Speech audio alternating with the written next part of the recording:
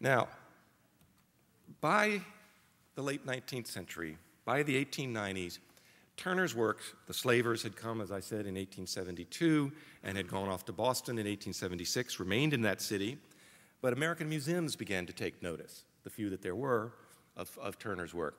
In 1899, the Museum of Fine Arts Boston bought The Slavers for $65,000. The Metropolitan bought the, Wales, the Whalers on the left there. I don't know the price, I believe in 1895.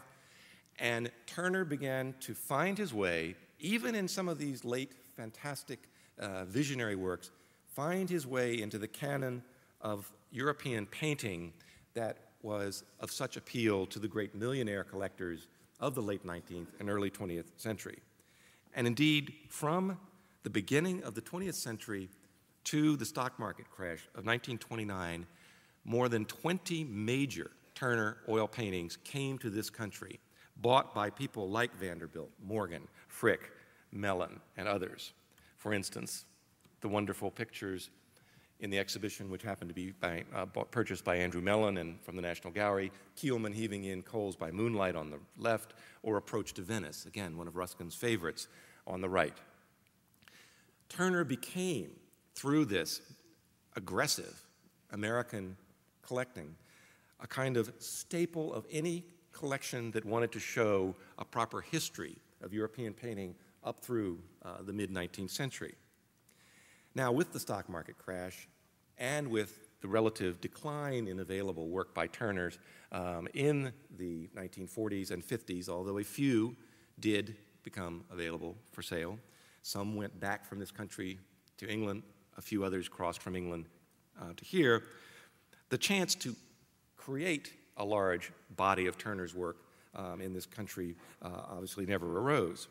But more importantly, something very essential to the popular public understanding of Turner's art occurred, and we've heard that alluded to in uh, Professor Schama's talk earlier. And that was the exhibition that Lawrence Gowing organized for MoMA in 1966.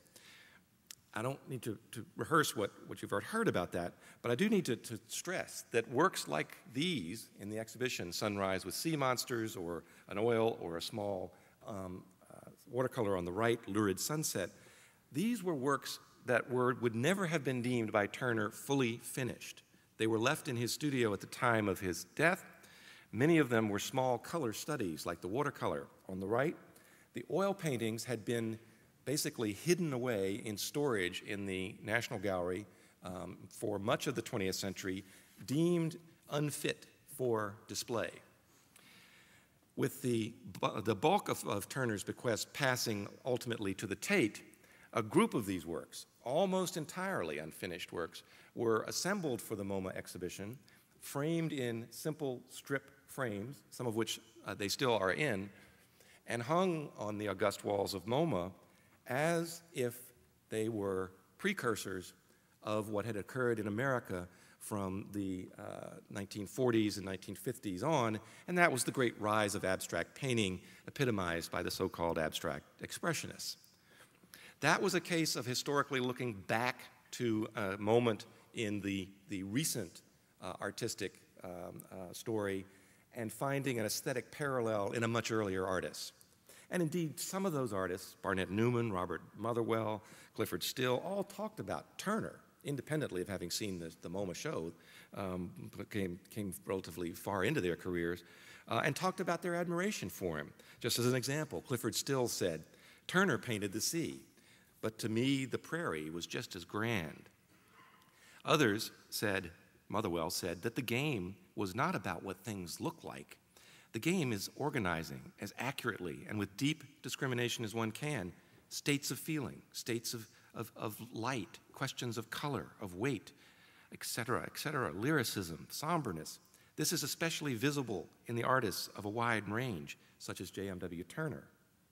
And indeed, this notion of kind of revisiting Turner's late works, unfinished, unexhibited, as wild as his, his late works did become, and you need only look at something like the steamer in a snowstorm near the end of the exhibition. Um, these uh, do not represent a full uh, and proper view of his public uh, persona in, during his lifetime. Um, with that sort of reevaluating of his work, people began to see fascinating parallels. And the most obvious one seemed to suggest Mark Rothko, watercolorist, painter of extraordinary um, saturated canvases, such as uh, Untitled 1949 on the left.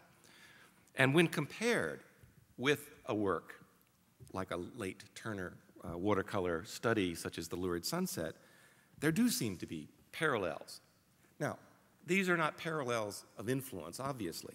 In fact, Rothko, when he got to visit the Turner exhibition, it had already gone from MoMA, it was over at the Tate in London. Um, he said he actually had never seen any of these works before, uh, and he reportedly quipped, That chap Turner learned a lot from me. Um, sort of conveniently in a, in a, in a, in a uh, pithy uh, bon mot, suggesting that this was all just a kind of historical um, uh, reassessing and not anything about influences, etc. But that said, the 1966 exhibition certainly broadened the notion of who Turner was in extraordinary ways, so much so that in organizing this exhibition, uh, my colleagues and I felt that, that we couldn't just leave out these works. And indeed, we end the exhibition with uh, a, a, small display of works such as The Sunrise with Sea Monsters, Norham Castle, Europa, and the Bull. And this part of Turner's work, regardless of what it was for his public um, persona in his own lifetime, has equally become a part of his fascination and appeal with the notion of Turner, the great historical artist, the great artist of, of, of, of theme and content.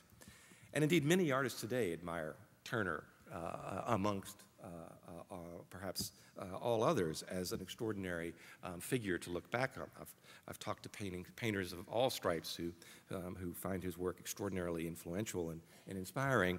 And I'd like to conclude just with one example of that, and that's Sean Scully, whose works may seem to look nothing at all like Turner's, and in fact, they don't. And that's not the point.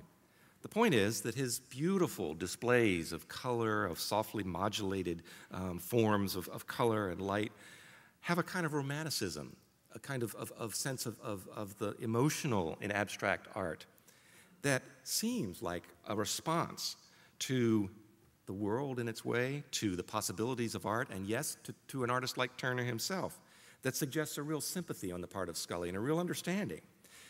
Scully has observed one of the reasons that Turner has such powerful appeal for us now is that he, more than any other artist of his period, let go of the details of life.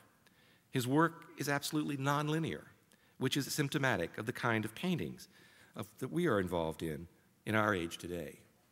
Now, as I've tried in this, this I think probably all too, too brief attempt to suggest who Turner was, both from his own days living, working, and through to today, for America, for American patrons, collectors, artists, admirers of art, has changed and evolved in many, many ways. And I'll leave you then just with another thing that Sean Scully said. The only thing in the end you can really do with a Turner is to submit to its beauty. Thank you.